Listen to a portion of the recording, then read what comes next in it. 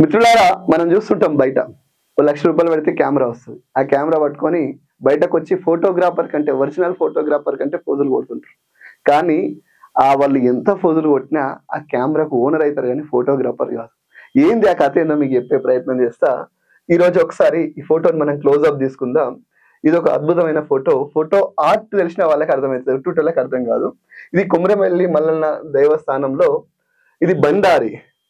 భక్తులకి ఇది పవిత్ర పదార్థం బండారి చల్లుతుంటే శివసత్తులు ఆడుతుంటే ఒక శివసత్తి పూర్తిగా ఒక ఐదు ఆరు అడుగుల మీద నుంచి ఆ ఇరగులతోటి నాట్యం ఆడుతుంటే పరవశించి నాట్యం ఆడుతుంటే తీసిన ఫోటోకి అవార్డు వచ్చింది. ఇది మనం చూస్తున్నాం ఒక పాముకి ఇది. ఫోటో పాము కాదు ఇది. ఒరిజినల్ పాము. జీవం ఉన్న పాముకి పాలు పోస్తున్నటువంటి నాగదేవతకు సంబంధించినటువంటి ఫోటో.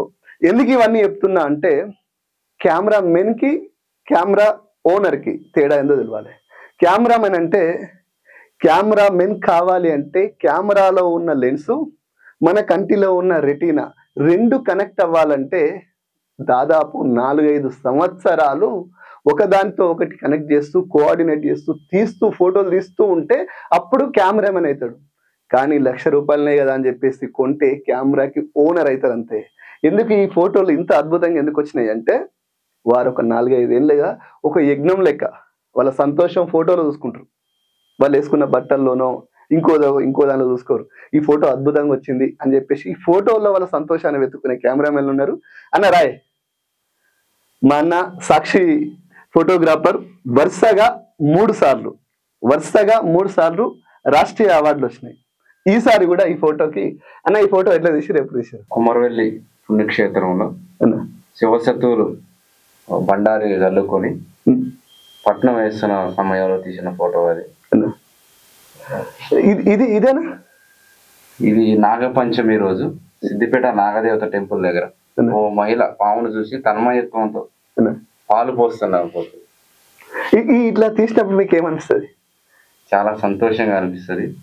ఇలాంటి ఫోటోలు ఇంకా తీయాలనిపిస్తుంది. ఇంకా? ఎవరు తీయని ఫోటోలు తీస్తేనే మనకు చాలా ఆనందంగా ఉంటుంది. చూసిరా? వీళ్ళ సంతోషాన్ని ఫోటోల్లో వెతుక్కుంటారు. మా సిద్దిపేటలో మా బాబా అన్న అని ఉంటాడు మా భాస్కర్ అన్న అని ఉంటాడు మా అన్న. అంటే వీళ్ళు వీళ్ళ వృత్తిలో వీళ్ళ వృత్తిలోనే సంతోషాన్ని వెతుక్కునే వ్యక్తులు. దాదాపు ఇరవై సంవత్సరాలు. ఎన్ని రోజులైనా? ఇరవై సంవత్సరాలు సగం జీవితము ఫోటోల మీదనే కాన్సన్ట్రేషన్ చేశారు. కెమెరామెన్లకి కెమెరా ఓనర్లకి తేడా చేసి ఉంటుంది కదా? నేను కూడా లక్ష రూపాయలు పెట్టి కెమెరా కెమెరా కొంటే దానికి ఓనర్ని అవుతా కెమెరామెన్ కాలేను. కెమెరామెన్ కావాలంటే ఓ నాలుగైదు సంవత్సరాలు కంటిన్యూగా ఆ లెన్స్కి నా రెటీనా కనెక్ట్ అయితే తప్ప కెమెరామెన్ కాలేను కనుక కెమెరామెన్లని మనం గౌరవిద్దాం. ఇది ప్రపంచ ఫోటోగ్రఫీ డే కదన్నా? ఇరవై తారీఖు నాడు రవీంద్ర భారతిలో మీరు అవార్డు తీసుకోబోతున్నారు. సిద్దిపేటలో ఎవరైనా మంత్రి? హరీష్ అన్న గారు అంటే సిద్దిపేట నియోజకవర్గం నుంచి రెగ్యులర్గా చూసి హరీష్ అన్న చేతులే మీకించి వావ్ సిద్దిపేటలో మా అన్నతో పాటు ఇంకో ఇద్దరు ఉన్నారు బాబన్న భాస్కర్ అన్న అని చెప్పేసి వీళ్ళు కేవలం మనం ఎంత ఇక బాబన్న అయితే మంచి అట్ట కట్టి ఉంటాడు.